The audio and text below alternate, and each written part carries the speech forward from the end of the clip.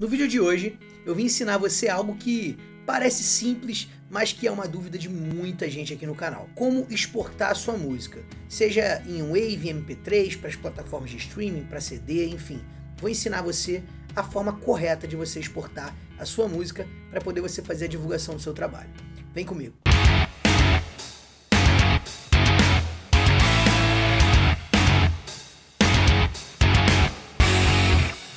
Aí, beleza? Sou Romulo Carvalho, músico e produtor musical, e você está no canal Grave Você Mesmo. Aqui abordamos sempre temas relacionados a áudio, vídeo e música, de forma didática e direta, para poder você aprender cada vez mais e melhorar as suas produções aí no seu home studio.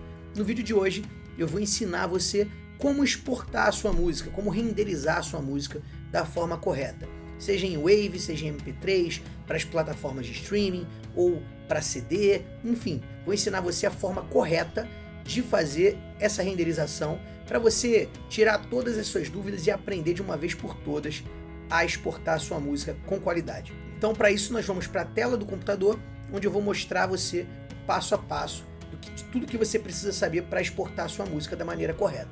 Mas antes eu queria te pedir já para deixar o seu like, se inscrever no canal e ativar o sininho para não perder nenhuma novidade.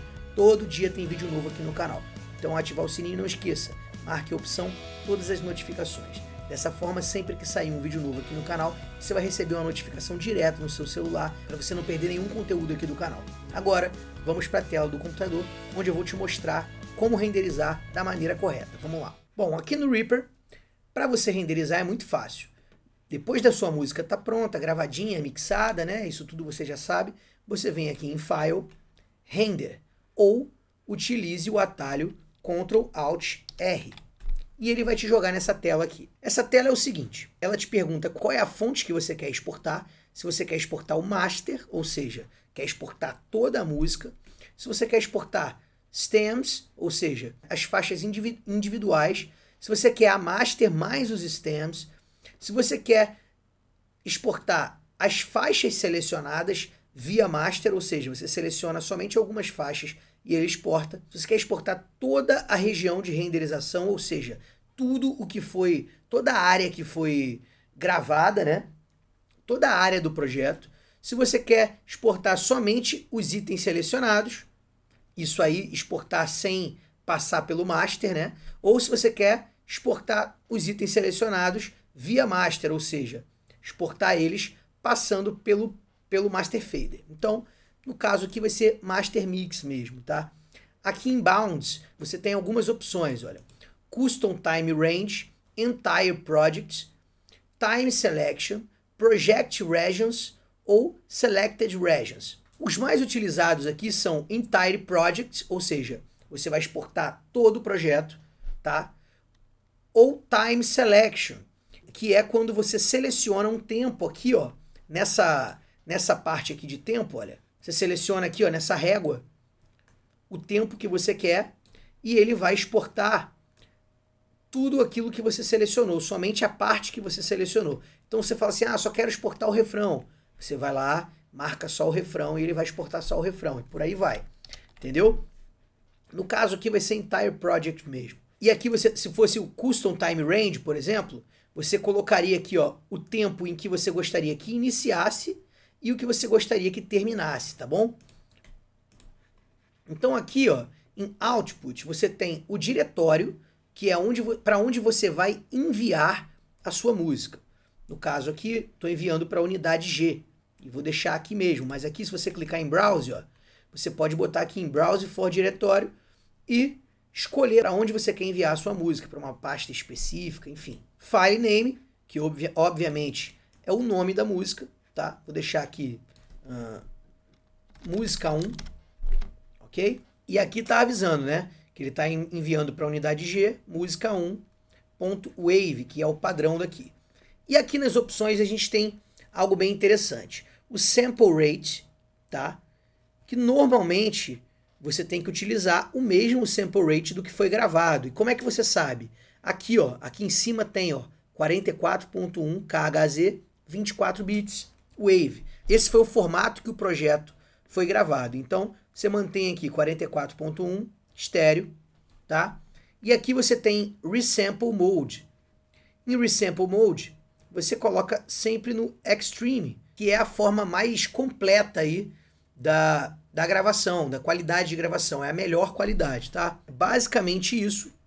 Aqui em metadata, você tem algumas opções, olha, onde você pode colocar o título da música, vamos supor, Mas Eu Não Vi, que é o nome dessa música, uma descrição da música, se você quiser, o nome do álbum, o nome do artista, o nome de quem gravou, enfim, tem uma descrição completa aqui, ó, para você colocar, até a parte técnica, tá vendo? Olha, licenciado por, por para tal para tal empresa, uh, qual é a língua, qual a localização que foi gravada, enfim, completo ali, tem um trabalho completo para você colocar todas as informações necessárias caso você esteja fazendo a produção da música de um artista que não seja você, ou até mesmo seu mesmo, você deixar ali tudo certinho e dar os devidos créditos a quem merece os créditos. Então, por exemplo, o compositor, o cliente, o autor, uh, o criador, o engenheiro de áudio, tem tudo aqui, tá? Quando você faz um trabalho muito grande no estúdio, você coloca todas essas informações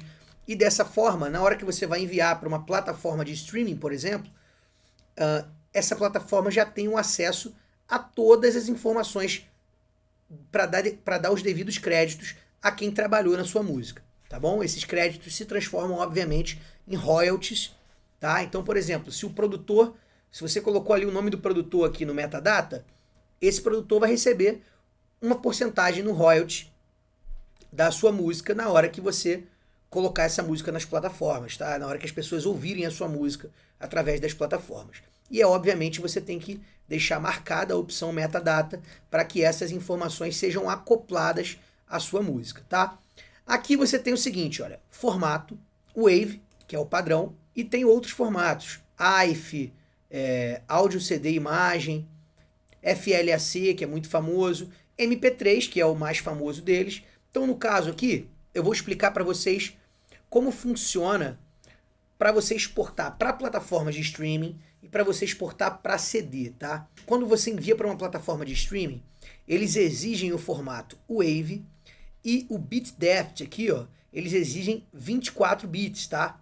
Então você tem que deixar isso aqui em 24 bits e o formato em WAV. Dessa forma ele tem uma excelente qualidade, porque o WAV é o áudio não compactado, é o áudio da melhor forma possível, sem compactação, em 24 bits, que é uma resolução muito bacana, tá bom?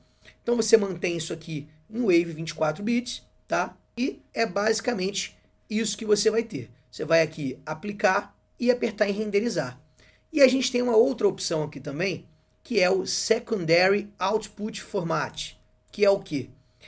Você pode renderizar em dois formatos diferentes ao mesmo tempo. Por exemplo, eu quero renderizar para Wave, mas eu também quero renderizar para MP3 para poder eu já enviar para os meus amigos, para eu já fazer uma divulgação. Então eu posso colocar aqui MP3.